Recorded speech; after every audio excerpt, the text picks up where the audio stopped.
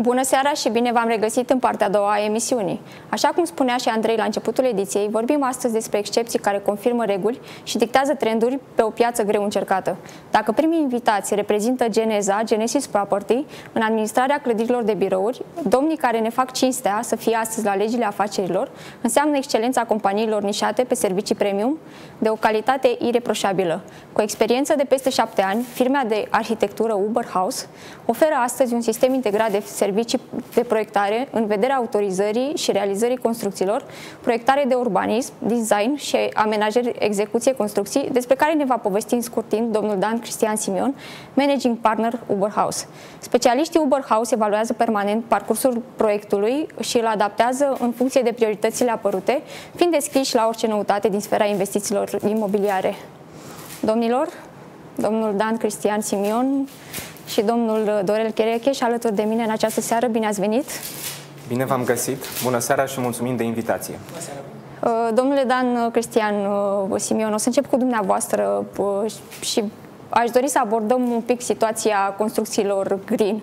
Să ne spuneți un pic ce părere aveți despre construcțiile green Desigur, pentru a putea vorbi despre construcțiile green, trebuie să menționăm și să aducem în discuție și standardul NZEB, care, odată ce a fost legiferat, a schimbat uh, fațada uh, și modul în care se construiește foarte mult în bine. Uh, dacă până la legiferarea acestui standard atunci când vorbeam de case pasive, era de fapt o nișă extrem de redusă. Casele pasive erau mai degrabă un fel de jucărie, bijuterie a unor oameni pasionați de așa ceva. Ei bine, după această legiferare a acestui standard, uh, casele pasive au devenit o normă, un standard după care trebuie să construim. Uh, noi discutăm foarte mult cu clienții noștri despre acest standard și la finalul uh, discuției mulți se întreabă și pun o întrebare foarte pertinentă. Dar eu cu ce mă aleg?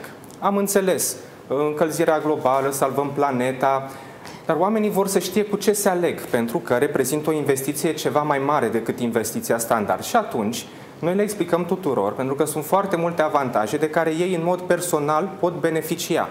Uh, primul dintre ele ar fi uh, facturile mai mici. Uh, reducerea facturilor se face în proporție de 90%, ar fi un maxim.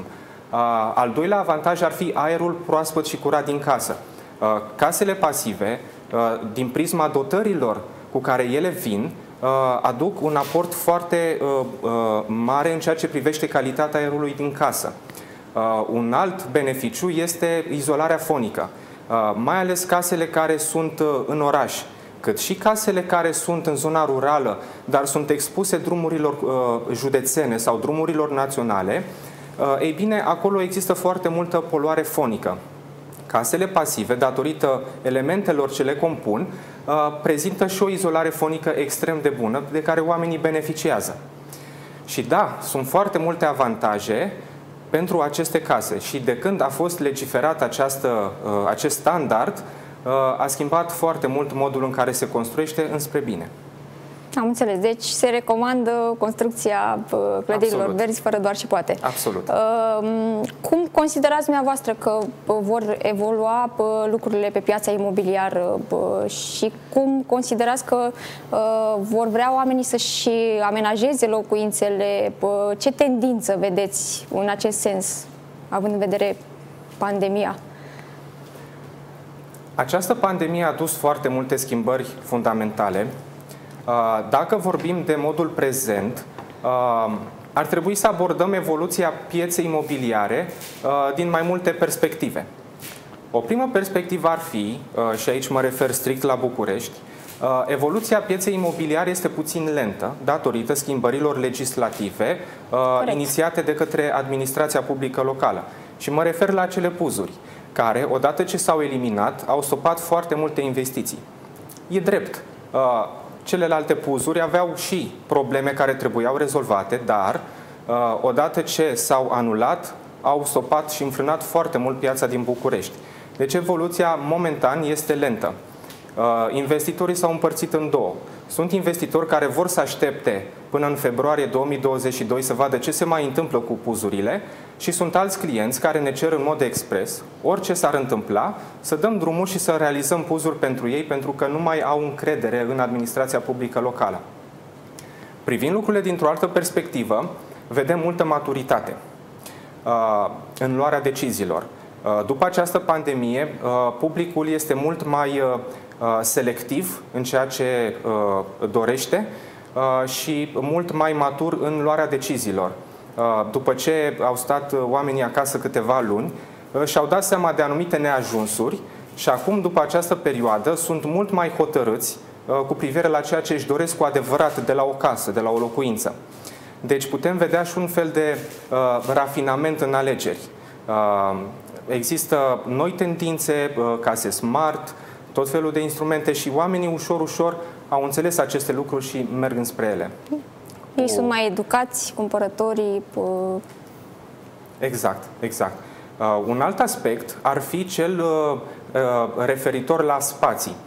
Oamenii uh, și-au dat seama în această perioadă că au nevoie de spațiu, spațiu de depozitare, uh, un balcon ceva mai mare pe care se pot relaxa, uh, au nevoie de anumite elemente care, uh, toate puse cap la cap, compun modul și nivelul de mulțumire cu privire la utilizarea acelei case.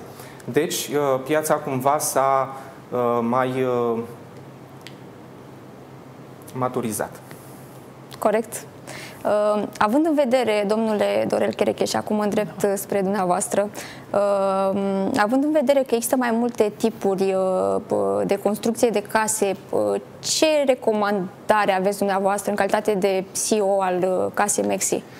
E clar, ca și direct producător, recomand casele pe structură metalică Uh, aceste fiind foarte eficiente energetic, aș vrea să subliniez prima parte, exact ce a menționat și, și Dan, uh, ne încadrăm foarte ușor în uh, normativul NZEB, fără a avea niște costuri suplimentare, zic așa, exagerate. Evident că sunt anumite costuri, trebuie să suplimentăm puțin termoizolația, dar nu sunt costuri foarte mari. Pe lângă asta, rapiditatea de construcție, care este un avantaj foarte mare a structurilor metalice, uh, datorită faptului că ne luptăm cu uh, lipsa forței de muncă, în, cred că în toate domeniile, dar în construcții noi resimțim, cred că cu toții, toată uh, problema asta. O casă pe structură ușoară este, să zic așa, în trei luni este gata predată la cheie din momentul în care am început montajul structurii metalice. Spațiile utile mai mari din nou revin aici la spațiile pe care le-a menționat și Dan. Și pe uh, locul 2, care ar fi? Și prețul care nu este de neglijat. Da. În continuare, cu toate creșterile acestea de prețuri la materialele de construcții, bineînțeles și noi am fost afectați și în continuare termosistemul, placările OSB și cu ce uh, lucrăm în general, uh, prețurile sunt mai mici cu 15% aproximativ, aș putea să spun, față de o construcție clasică. Am înțeles. Uh, apropo de prețuri, aș vrea să abordăm un subiect uh, destul de uh, discutat în perioada aceasta și cu impact asupra domeniului prețurile materialelor de construcții. Știm că au crescut foarte mult da. prețurile. Unele s-au dublat, s-au triplat. Da, exact așa, cazuri. prețul lemnului știu că este cu da, peste este, 100% mai mare este decât era mare acum. în momentul de față, care ne-a generat și al fierului. O, da, și a fierului. Din fericire, am avut un stoc și avem în continuare un stoc destul de mare, în care putem să ținem prețurile sub control la structura metalică și a generat, să zic așa, aceste costuri, au generat și nouă niște vânzări, pot să zic așa, și mai mari, uh, cum uh, pot să dea de exemplu și Dan, câți clienți au venit uh, să Uh, să transforme și să uh, modifice casa din cărămidă pe structura metalică.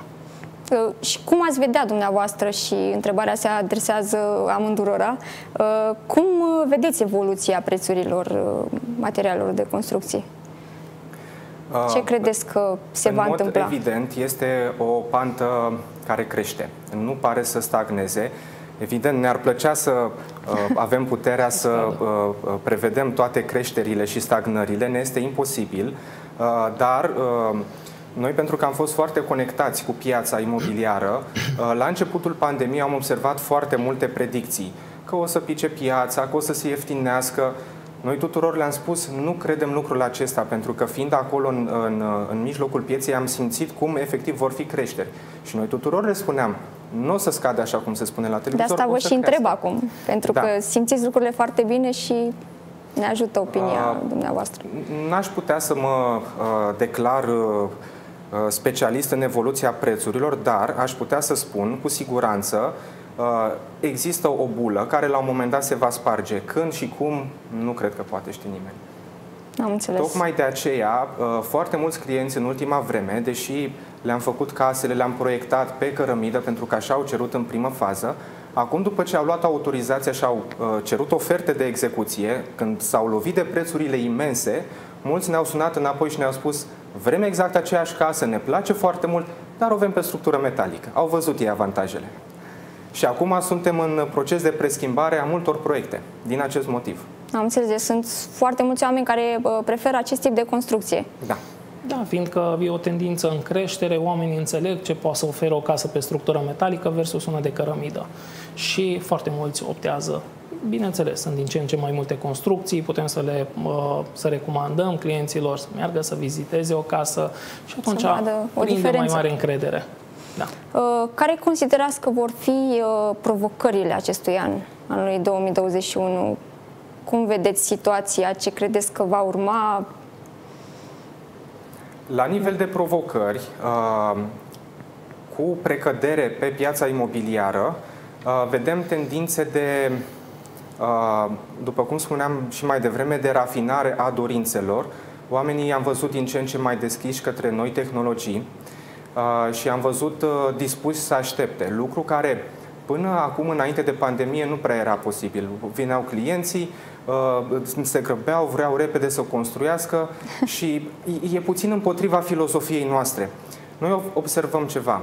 Într-o casă se investesc foarte multe resurse și nu doar resurse financiare energie multă, uh, timp mult investit și atunci, dacă tot se investesc aceste resurse, casa aceea trebuie sau locuința trebuie să fie perfectă din toate punctele de vedere. Ori, pentru a putea fi perfectă din toate punctele de vedere, trebuie să acordăm timp.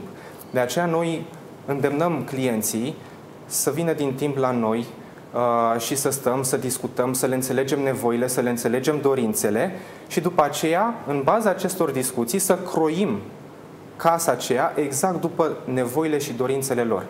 Bănuiesc că în perioada aceasta cumpărătorii au fost mai, uh, sau clienții au fost mai deschiși să comunice, să vină, să, să spună exact da. Uh, ce își doresc. Poate au nevoie de mai mult spațiu, poate au nevoie de Corect. camere mai mari. Apropo de acest aspect, uh, cum simțiți lucrurile?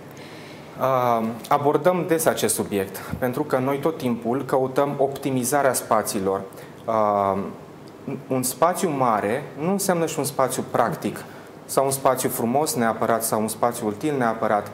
Este foarte importantă uh, interacțiunea cu clientul și să vedem care sunt nevoile lui și în funcție de asta stabilim și uh, zonele funcționale, stabilim și fluxurile, modul în care acea casă va fi utilizată. Și uh, la final, uh, deși mulți vin la noi la început având impresia că o casă Uh, mare este ceea ce își doresc, își dau seama, după ce văd tot felul de posibilități, că uh, mare nu înseamnă și bun. Totul trebuie abordat cu seriozitate și practic pe client și pe nevoile lui. Corect, așa este. Uh, care este miza, vă întreb pe dumneavoastră acum, ulterior urmați dumneavoastră, care este miza Uber House pentru acest an? Ce proiecte aveți? Proiecte cheie? Uh, Misa Uber House, în continuare, este următoarea. Dorim să ajutăm cât mai mulți oameni să-și construiască casele de vis și dorim să ajutăm cât mai mulți dezvoltatori să construiască viitoarele apartamente de vis pentru viitorii cumpărători. Mă dumneavoastră. A companiei noastre Casemex este miza să construim, pot să zic așa, case calitative, bine gândite, bine executate, și, cum spunea și Dan, să oferim clienților ceea ce își doresc și să fie o casă trainică, pot să zic. Am înțeles. Așa ca și recomandare, dacă ar veni, văd aici un tip de casă foarte frumoasă care ați proiectat-o cel mai probabil. Uh, dacă ar veni, nu știu, cineva la dumneavoastră și v-ar spune vreau o casă, suprafață de, nu știu, mai mare, uh, ce i-a sfătui? Uh, cum i-a sfătui să-și facă camerele? Pe ce drum ar i-a sfătui să meargă? Uh, mai întâi de toate ne împrietenim, pentru că uh, pentru a putea construi o casă personală pentru un client cu nevoi personale, atunci trebuie să-l înțelegi. Stăm mult de vorbă, povestim, punem tot felul de întrebări, atât de ordin tehnic cât și de ordin estetic, încercăm să aflăm nevoile.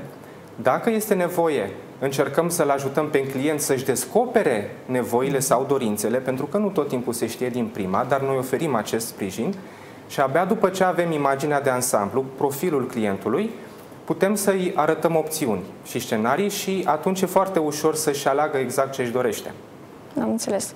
Uh, care considerați, uh, de fapt, care credeți că sunt așteptările, care sunt așteptările dumneavoastră pentru anul 2021?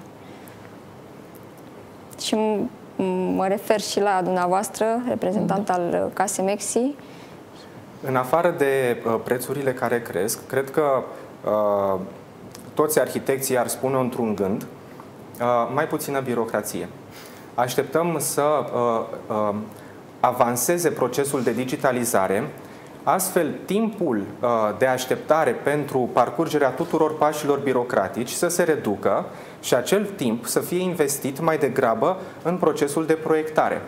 Pentru că trebuie să-i dăm timp unei case. În relația cu clientul graba nu este tot timpul o soluție și de, de cele mai multe ori ajungem să ne grăbim cu proiectarea pentru că oricum va urma, știm că va urma să așteptăm o grămadă procedeele birocratice. Așa știm că sunt reduse procedeele birocratice, uh, proiectul va fi gândit în tihnă și atunci clientul va lua cele mai bune decizii. Uh, știm că la noi la București, din păcate, birocrația este greoaie. Mm. Uh, dumneavoastră venind din Oradea, Oradea. Uh, da. acolo cum merg lucrurile? Cum Puțin sta? mai simple.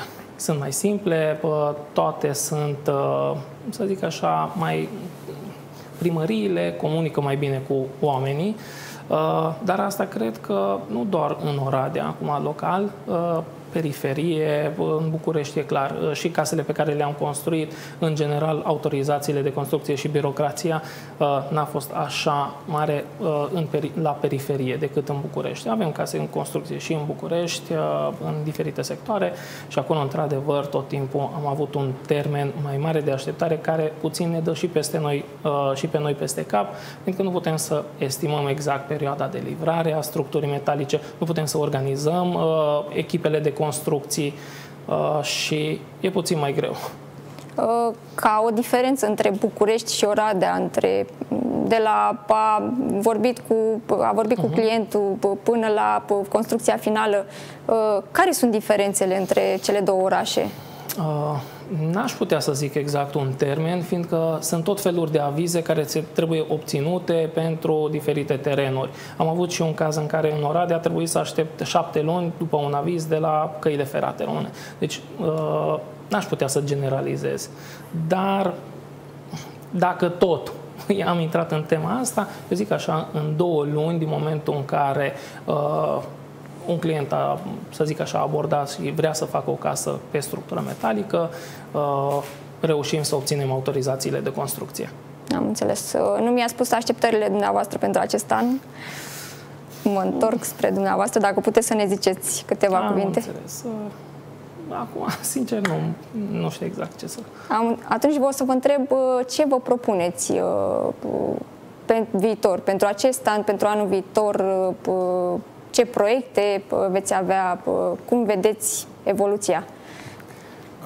În ultima vreme am început să ne implicăm uh, din ce în ce mai mult în relația cu dezvoltatorii imobiliari în vederea uh, conștientizării unor nevoi pe care clienții finali le au atunci când își doresc să cumpere un apartament și dorim să mergem mai departe cu acest drum pe care l-am început uh, și astfel apartamentele și ansamblurile rezidențiale să satisfacă din ce în ce mai mult nevoile de bază pe care clienții atunci când cumpără un apartament le caută. Care este targetul Uber House Ah. pentru acest an, cel puțin? Uh, Pentru acest an ne-am dorit ca uh, să avem ceva mai mult timp, clienții să vină puțin mai din timp la noi, ca să putem sta mai mult pe proiectele lor, pentru că pentru ca acele case să iasă perfecte din toate punctele de vedere. Cei drept, putem să scoatem și din sertar un proiectel, luăm o casă tip, îi dăm copy-paste, dar nu acesta este scopul nostru și nu aceasta este filozofia noastră, ci vrem să croim după nevoile clienților casele exact așa cum și le doresc. Important este să, da, să ne ascultăm, să ascultați Nevoile. nevoile bă, clienților în așa fel încât să fie bă, pe deplin mulțumiți.